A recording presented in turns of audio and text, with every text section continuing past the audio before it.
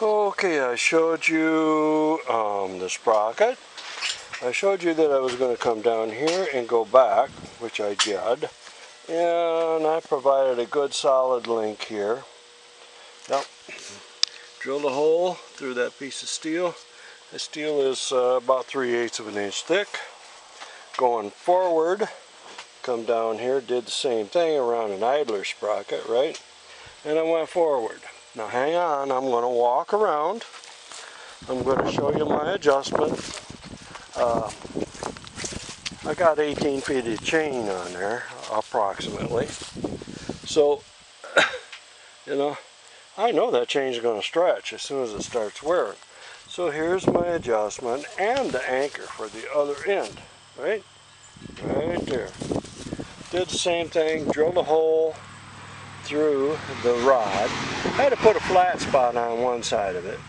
Drilled a hole through the rod, put the uh, master in there, and a piece of pipe, um, threaded rod, gives me adjustment to and fro. Alright? Now, I'm going to shut you off for a minute, cut you in on another video, and we'll be right back.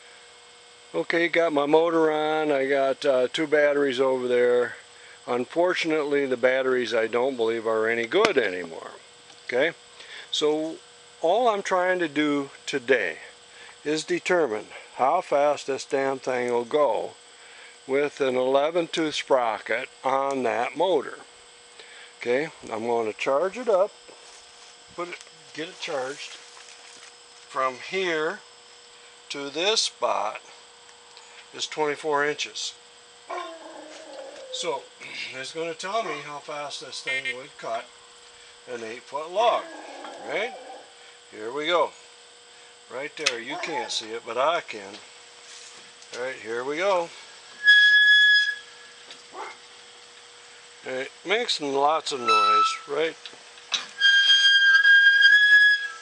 Alright, right there.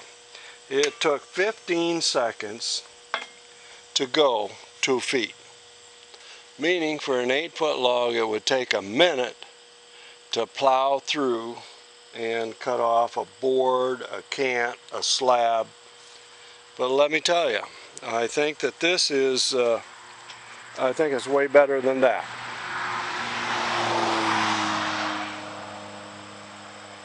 The 15 seconds is on batteries that just don't hold a charge. Uh, and it was on the charger too. All right. Talk to you later. Bye-bye.